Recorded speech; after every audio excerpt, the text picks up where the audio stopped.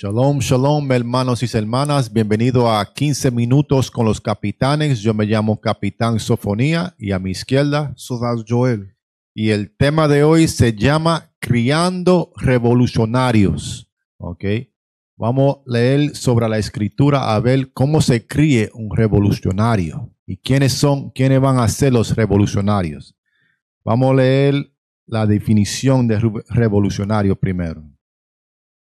La definición de revolucionario implicando o causando un cambio completo o dramático. Léelo de nuevo. Implicando o causando un cambio completo Causando un cambio completo. Eso es lo que estamos buscando, un cambio completo. ¿Por qué? Porque lo que estamos haciendo hoy en día no nos está, ah, no nos está mejorando, no nos está ayudando. Porque nosotros estamos enfermos, necesitamos ayuda, necesitamos, un, necesitamos salvación. ¿Y quién nos va a salvar? Nosotros nos vamos a salvar. Nosotros mismos, nuestros hijos nos van a salvar. ¿Y cómo va a ser? Con la palabra de Dios. No va a ser peleando, no va a ser marchando, o que va a ser guardando los mandamientos de Dios. Vamos a leer ahora Salmo capi- capítulo 94 y versículo 16. el libro de Samos, capítulo 20 94 y 16. Ajá. ¿Quién se levantará por mí contra los malignos? ¿Qué pregunta Dios? ¿Quién se levantará por mí contra los malignos? ¿Quién se va a levantar contra los malignos? Lee. ¿Quién estará por mí contra los que hacen iniquidad? So, ¿Quién va a estar en el lado de Dios contra los que hacen iniquidad, los que cometen pecado, los que están en contra de Dios? Vamos a leer ahora Deuteronomio 6 y 7. El libro de Deuteronomio, Comienza con versículo 6. el libro de Deuteronomio, capítulo 6 y 6. Y estas palabras que yo te mando hoy estarán sobre tu corazón Estarán sobre nuestra mente. Lee. y las repetirás a tus hijos. ¿A quién? A tus hijos. So, las palabras que están en la Biblia las repetirá a tus hijos. Lee. y hablarás de ellas estando en tu casa Y hablarás de ella en tu casa. Lee. y andando por el camino Y andando con tu hijo por el camino. Lee. y al cotarse Y antes de acotarse, orar, ¿verdad? Y hablar la palabra de Dios. Lee. y cuando te levantes Y cuando te levantes, dándole gracias a Dios por otra vida, por, por, por más vida, ¿ok? Eso es lo que tenemos que enseñarle a nuestros hijos, cómo orar, ¿verdad? Cómo hablar con la palabra de Dios. Así que tú vas a levantar a un revolucionario. Así que tú vas a criar a un revolucionario. Léeme ahora el libro de ah, Eclesiásticos, capítulo 30 y versículo 1 al 6. el libro de Eclesiástico capítulo 31 el que ama a su hijo causa a menudo que sienta la vara Ajá. para que él pueda tener alegría de él en el final El que ama a su hijo causa a menudo que siente la vara. Tiene que corregir a tu hijo. ¿Por qué? Para que él, pueda tener alegría de él en el final. Para que tú digas, yo lo crié bien. Yo crié a mi hijo bien, correctamente, de acuerdo a la Biblia. So, ¿Qué dicen aquí en este mundo? Tú no puedes darle a tu hijo. Tú no puedes corregir tu hijo con, con, con darle, dar- dándole ah, fuerte, como dicen los ser llamados dominicanos. ¿Ok? Pero la Biblia te dice que, léelo de nuevo, el que ama a su hijo causa a menudo que sienta la vara que sienta la vara, la- dándole por la pierna. ¿Para qué? Para corregirlo. No para matarlo, no para herirlo, pero para corregir, corregirlo. ¿Ok? Lee. para que él pueda tener alegría de él en el final. Tú vas a tener alegría en el final de tu hijo. ¿Por qué? Porque lo corregiste. Si tú no corriges a tu hijo temprano, después se hace tarde, se críe y ya tú no puedes corregir a ese muchacho porque ya está muy grande. ¿Ok? ¿Y qué pasa? Se meten en ganga, ¿ok? Se, salen a la calle, ¿ok? Y hacen toda clase de maldades, toda clase de pecados, de maldades en el mundo. ¿Ok? So tiene- tenemos que corregir a nuestros hijos temprano. Lee. El que, El que castiga a su hijo tendrá alegría en él Ajá. y se regocijará de él entre sus con- conocidos. So, entre sus amigos va a tener alegría. ¿Por qué? Porque hizo lo, hizo lo bueno con su hijo. Lo corrigió, le enseñó la Biblia y ahora ese hijo se crió y va a ser un qué? Un revolucionario. Lee. El libro de Eclesiástico, capítulo 33. Ajá. El que enseña a su hijo aflige a sus enemigos. El que enseña a su hijo aflige a sus enemigos. Nosotros tenemos enemigos. La Biblia te dice quién tu enemigo es. Aquí en este país, en este mundo, ¿verdad? Específicamente en, en América, no nos enseña quién es nuestro amigo. Di- Dicen que Jesucristo murió por todo el mundo, ¿verdad? Que Él ama a todo el mundo, pero vamos a aprender que los israelitas, ¿verdad? Los ser llamados negros, hispanos y nativo americanos, nosotros tenemos enemigos. Léeme el libro de Nehemías, capítulo 5 y versículo 9. Lee. El libro de Nehemías, capítulo 5 y 9. Ajá, Y dije, no es bueno lo que, has- lo que haces. ajá. No andaréis en el temor de nuestro Dios para no ser oprobio de, los, de las naciones enemigas nuestras. Léelo de nuevo. Y dije, no es bueno lo que hacéis. No es bueno lo que haces. No es bueno cometer pecado. ¿Ok? Maldi- maldades, dice la Biblia. ¿Por qué? No andaréis en el temor de nuestro Dios Tenemos que andar en el temor de nuestro Dios. ¿O, o qué quiere decir? Que tenemos que andar en sus, en sus ah, mandamientos, en sus leyes. Lee. para no ser oprobio de las naciones enemigas nuestras. Para no ser oprobios delante de las naciones enemigas nuestras. Las naciones enemigas nuestras. So la Biblia te, te lo dijo. Las naciones son nuestros enemigos. Regresa a Es- Eclesiástico. El libro de Eclesiástico, capítulo 33. Ajá. El que enseña a su hijo aflige a sus enemigos Afliges a las otras naciones, los enemigos. Lee. y delante de sus amigos él se regocijará, se, se regocijará de él. Ajá. Aunque su padre muera, Aunque su padre muere, lee. sin embargo, es como si no estuviera muerto, Es como si su padre no estuviera muerto. ¿Por qué? Porque él dejará detrás uno como él mismo. Porque él dejará detrás de, de él uno como él mismo.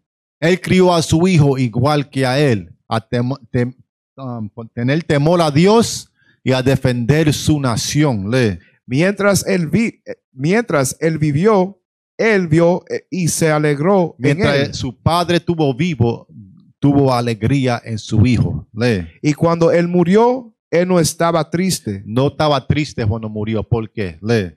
Él dejó detrás un vengador ¿Dejó, contra dejó qué? un vengador contra sus enemigos. Dejó detrás de él un vengador contra sus enemigos. Un vengador contra las naciones. ¿Ok? La Biblia te lo dice bien claro. Ustedes tienen que abrir sus ojos. La iglesia no te lo va a decir. La palabra de Dios te lo va a decir. Los verdaderos profetas de Dios te lo va a decir. Lee. y uno que retribuirá bondad a sus amigos. So, uno que, que va a hacer bien a sus amigos. ¿Por qué? Porque lo crió, lo crió bien. All right. Léeme ahora el libro de Tito, capítulo 1 y versículo 5. El libro de Tito, capítulo 1 y 5. Por esta causa te dejé en Creta, So, esto es Pablo hablándole a, a Tito. Ok, lee. para que, corri- para que corriges lo deficiente, para, ¿Para qué? que corriges los deficientes Ajá. y establecéis ancianos en cada ciudad, Y establecer ancianos en cada ciudad. Lee. así como yo te mandé. así como yo te mandé. So, él puso a Tito para qué? Para establecer orden. Pablo, el anciano, creó más ancianos, más que iban a establecer orden. Él le enseñó a Tito para Tito poder enseñarle a los demás, para establecer orden, orden, donde estaban quién? Los judíos, los israelitas, ¿ok? Y no solamente los hombres, las que van a establecer orden, Léeme ahora el libro de Tito, capítulo 2 y 4. El libro de Tito, capítulo 2 y 4, Comienza con el 3. versículo 3. Ajá. Las ancianas a sí mismos sean reverentes Ajá. en su porte, no calumniadoras, No calim- calumniadoras, no levantando calumnia, lee. no esclavas de vino, No, que- no, que no estén bebiendo, lee. maestras del bien, Maestras de qué? del bien, De bien, enseñando lo correcto, lee. que enseñen a las mujeres jóvenes a, a amar a sus maridos y sus hijos, Las mujeres jóvenes, para que enseñen a las mujeres jóvenes cómo amar a sus maridos y a sus hijos. Lee. Versículo 5. A ser prudentes, castas, cuidado, cuidadosa de su casa, Cuidadosa de su casa, lee. buenas, sujetas a sus maridos, ¿Sujetas a quién? a sus maridos, No, a cualquier hombre. a sus maridos, Sujetas a sus maridos, lee. para que la palabra de Dios no sea blasfemada. Para que el enemigo no hable en contra de nosotros. So, la Biblia se trata de orden. La Biblia es para qué? Revolución, para cambio. Jesucristo era un revolucionario. Los profetas son revolucionarios. Estamos haciendo cambio en nuestra comunidad, cambio en nuestra nación. Léeme ahora a 1 Samuel, capítulo 10 y 6. Libro de 1 Samuel, capítulo 10 y 6. Entonces el Espíritu de Jehová vendrá sobre ti con poder El Espíritu de Dios en- vendrá sobre ti con poder cuando tú comiences a guardar los mandamientos. Lee. y profetizarás con ellos Ajá. y serás mudado en otro hombre, ¿Y será qué? mudado en otro hombre. Y será cambiado en otro hombre. ¿Ok? Cambiado en otro hombre cuando tú comiences a guardar lo- los mandamientos de Dios. Dios te va a cambiar. Eso es lo que estamos buscando. Revolución, cambio. ¿Ok? No, no le tengan miedo a esa palabra. Esa palabra es buena. Nosotros necesitamos una revolución. Nosotros necesitamos un cambio en nuestra nación. Léeme ahora a Sofonías 3 y 19. El libro de Sofonías, capítulo 3 y 19. He aquí, aquel tiempo yo apremiaré a todos tus opresores, A todos que tus opresores, lo que nos están oprimiendo hoy en día, como el hombre caucástico, el europeo, el blanco. ¿ok? No tengan miedo de decirlo, es la verdad. Ellos nos están oprimiendo. Lee.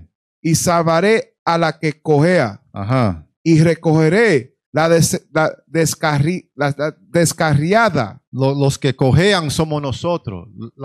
Los, los descarriados somos nosotros, los israelitas, los más pobres del mundo, los que, los que estamos los más enfermos, los que necesitamos la más ayuda, la más salvación, la más revolución. Lee. y os pondré por alabanza y por renombre en toda la tierra. ¿Y qué?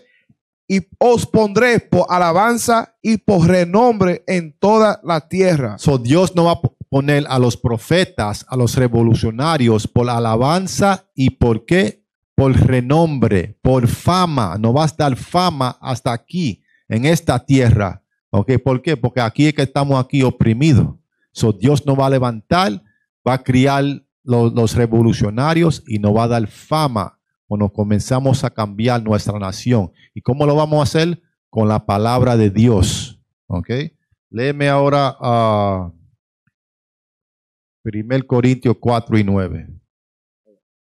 El libro de 1 Corintios, capítulo 4 y 9. Ujú. Porque según pensó, Dios nos ha exhibido a nosotros los apóstoles como postreros, Ajá. como a sen- sentenciados a muerte, ¿Sentenciado a qué? a muerte. Son los apóstoles, ¿verdad? Dios lo hizo por último, sentenciado a muerte. ¿Como quién? Como a Cristo, como a Pedro, como a Pablo, como a Estéfano. Muchos de los apóstoles han muerto. ¿Y qué pasa? A nosotros también, por, por, por ser revolucionario, por comenzar la revolución, muchos de nosotros sabemos que vamos a morir. Está escrito. So, eso es, no es nada de, de temer, porque es la palabra de es lo que quiere Dios, es la voluntad de Dios. Lee. Pues hemos llegado a ser espectáculo al mundo. Somos espectáculo al mundo. ¿Por qué? Porque ellos no ven a nosotros como raros.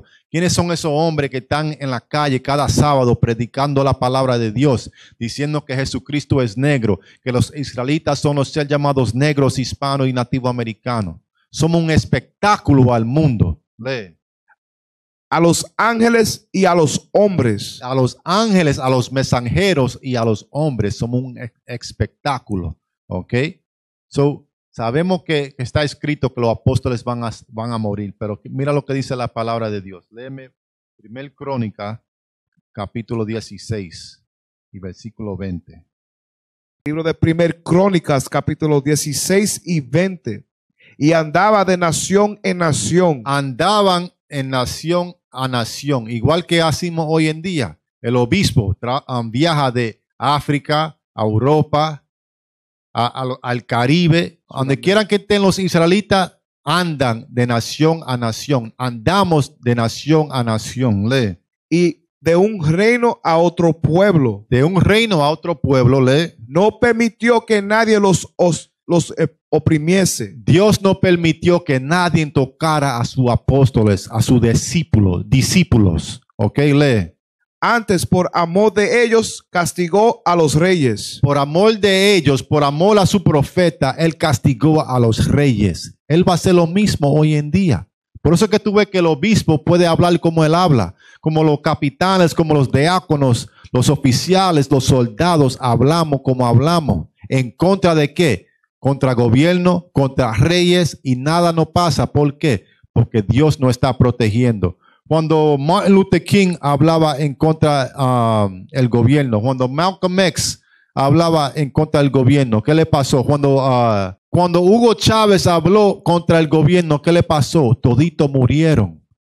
¿Por qué? Porque ellos no guardan los mandamientos. El obispo guarda los mandamientos. Los, el- los diáconos, los capitanes, los oficiales, los soldados, los verdaderos profetas de Dios van a ser protegidos. ¿Ok? Sabemos que algunos vamos a morir, pero estamos preparados para eso. All right? Lee. No toquéis, dijo, a mis ungidos, no toques, dijo a mis ungidos. Lee. ni hagáis mal a mis profetas. No le hagas mal a mis profetas. O la palabra de Dios es fuerte. La palabra de Dios nos da protección. ¿Ok? No, no, nos cuida. Sabemos lo que dice la Biblia. So, vamos a hacer lo que dice Dios. Y vamos a comenzar la revolución. Vamos a ser parte de la revolución. Vamos a causar cambio para nuestra gente, para mejorar nuestra gente, para levantar a nuestra gente. Léeme ahora Isaías ah, 30 y 20. El libro de Isaías, capítulo 30 y 20. Ajá, Bien que os dará el Señor pan de congoja ajá, y agua de angustia. ajá.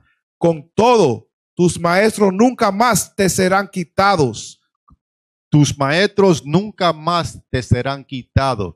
¿Ok? ¿Cuándo fueron quitados los maestros? Cuando entró Roma a, a Jerusalén, Jerusalén, ¿verdad? Y, y- y- y tumbaron nuestro gobierno. Los profetas, ¿qué, qué pasó? Se, se, se desparcieron entre, entre las naciones. ¿Ok? Pero hoy en día ya tú estás viendo a los profetas de Dios en la calle, en el internet, en el radio, en la música. ¿Por qué? Porque estamos causando cambio, estamos causando revolución. Lee. Sino que tus ojos verán a tus maestros. Sino que tus ojos verán a tus maestros. Tú lo estás viendo con tus ojos ahora mismo cuando tú estás viendo este video. Tú lo estás viendo cuando tú ves al obispo en África, en Europa, en Ghana, ¿ok? En, en el Caribe, en Sudamérica, exactamente. Tú estás viendo a tus maestros. So, ¿qué estamos hablando? De criando revolucionarios. Tienen que ser parte de la revolución. No se queden atrás. No se queden ah, en- en- bajo las maldiciones. Es hora para levantar a las doce tribus de Israel. Con eso decimos shalom. Shalom. We used to scream black power while Heron was pushed. But at the end of the day, nothing's in vain. IUIC has been given a vision. The tents of Judah has risen. Many has attempted the mission, Minor murmuring, omitting, and missing the mark. Just reading that he had the flame of fire in his eyes gave us the spark. We on Paul's mission. We out on the road, purple and gold. From Mexico, Cuba, Haiti, Ghana, Sierra Leone. 144,000 boots banging, concrete crackling. These are how our men repented at heart. The scriptures is proof. IUIC, we deliver the truth.